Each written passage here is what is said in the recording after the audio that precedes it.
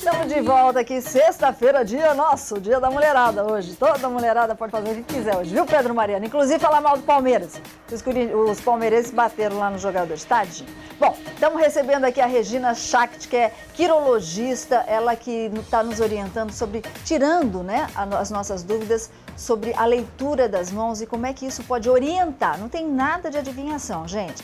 É orientar o nosso destino, tá? Bom, mas eu tenho um toque para te orientar também. Na TIM você encontra, além de planos e aparelhos exclusivos, ofertas imperdíveis. Então você tem que essa semana até uma loja da TIM garantir, por exemplo, o seu Samsung Pocket por apenas 12 parcelas de 26 reais.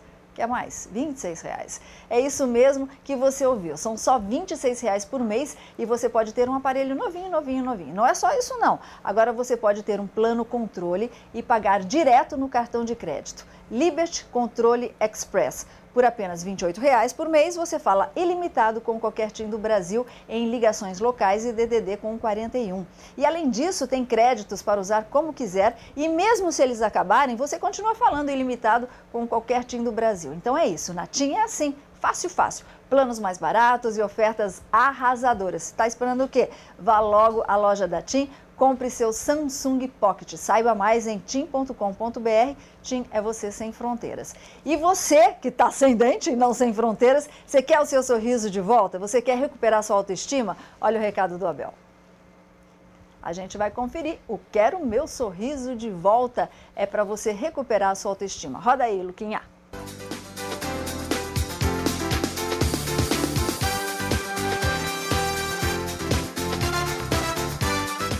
Quer retomar a sua autoestima e voltar a ter dentes lindos? O Falando Nisso traz a quarta edição do concurso Quero Meu Sorriso de Volta. Para participar, basta enviar uma foto do seu sorriso atual por carta ou e-mail, com a resposta para a pergunta: por que você quer o seu sorriso de volta? E pronto! Quem sabe você pode ganhar um implante completo e voltar a sorrir. Participe e boa sorte! Pois é, manda até o dia 16 agora, hein? Aí você ganha a moto do Charlão e sai sorrindo com a moto do Charlão, entendeu, Abel? Esse programa aqui te dá tudo, meu bem. Vamos continuar aqui com as perguntas do facebook.com barra falando nisso Band. Não quis se identificar. Qual mão devo ler? Faz diferença se sou canhoto ou destro? Boa pergunta. Uhum. Boa pergunta. Bom, eu leio as duas mãos. Aliás, a leitura é pela diferença das mãos. Então, eu pego uma régua, um compasso, vou medindo todas as falanges, falanginha, falangeta, e vou vendo a diferença de uma mão para outra. Cada falange, ela significa um aspecto do seu ser que você precisa administrar.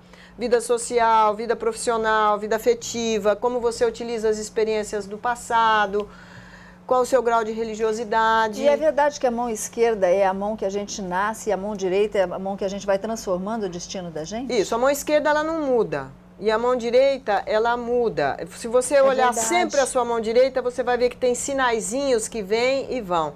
Para mim, isso é uma, uma visão de que existe o livre-arbítrio. E eu tenho observado que as pessoas, quando elas começam alguma questão assim de trabalho com, com, com consigo mesmo, como meditação, yoga, alimentação, mais atenção na vida, a, as mãos melhoram pra caramba. Sai aqueles, aquele monte de linhazinhas, sai, sai das mãos. Então... Agora, canhoto é uma pedra no meu sapato, porque eu não tenho uma estatística como eu tenho de, de doentes mentais, que eu tenho 20 mil impressões. Canhoto, eu devo ter umas 3 mil mãos de canhoto. Então, eu sou canhoto, é babado, então. Ah, e você não sabe a dificuldade que é para mim. Porque eu, Jesus, eu imagino que sim, que seja o contrário, uhum. entendeu? Aí então, lê ao contrário. Né? Eu leio o que, o que tem nas duas mãos Aqui. e algumas coisas ficam pendentes para quem é canhota. Bom, daqui a pouco a gente vai mostrar essas fotos aqui, a diferença né, das mãos, como a Regina acabou de falar, de alguma pessoa que tem problema aí, algum transtorno psicológico. Mas vamos atender primeiro Valdir. Oi, Valdir. Alô, Valdir?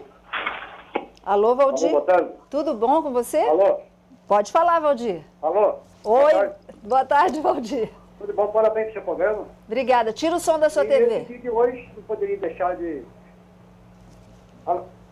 Valdir, você tem que tirar é, o som da sua TV, senão você não consegue falar com a gente. Tá bom, querido? Senão fica esse... É horrível esse na sua cabeça. Oi. Boa tarde. Tudo, tudo bom, hein? Tudo bem, e você?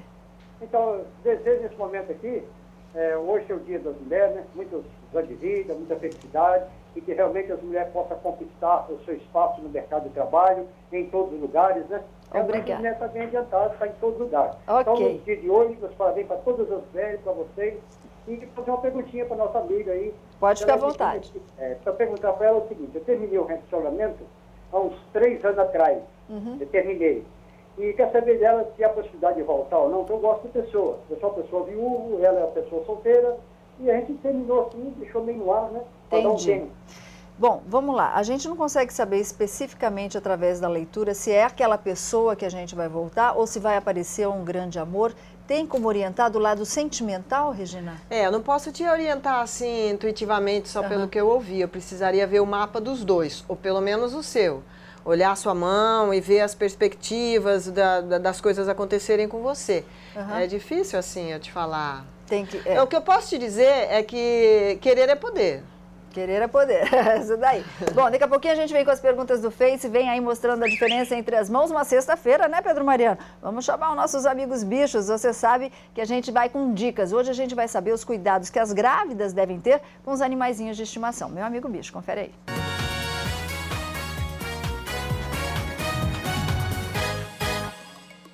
Olá, hoje a pergunta é da Maria Luísa de Pindamonhangaba. Maria Luísa está grávida, ela está preocupada com o gato dela. Pergunta se o gato pode transmitir alguma doença que possa trazer risco à gravidez. Então, Maria Luísa, existem algumas doenças que são as zoonoses que podem ser transmitidas dos animais para a gente. Isso daí pode eh, ter alguma consequência com relação à gravidez. Quando se fala em gravidez, a primeira doença que vem na cabeça das pessoas é toxoplasmose. Toxoplasmose é uma doença que é transmitida unicamente pelo gato, então ele leva sempre a culpa pela, pela ocorrência dessa doença. Mas na verdade é um medo assim infundado. O gato ele transmite essa doença primeiro se ele tiver é, com essa doença e ele transmite através das fezes. Mas para transmitir através das fezes, esse, esse cocô que ele faz precisa ficar no ambiente bastante tempo, de forma que ele possa ser contaminante. Então, se a pessoa mantém o gato de, de forma bem saudável, com um mínimo de higiene, ele não vai representar risco para a sua ge- gestação. Qualquer dúvida, procure um médico, faça exames, procure um veterinário, faça exame nos gatos. Isso daí ele vai evitar muitos problemas e vai evitar risco para a sua gravidez. Essa pergunta foi da Maria Luísa, de Pindamonhangaba. Até a próxima.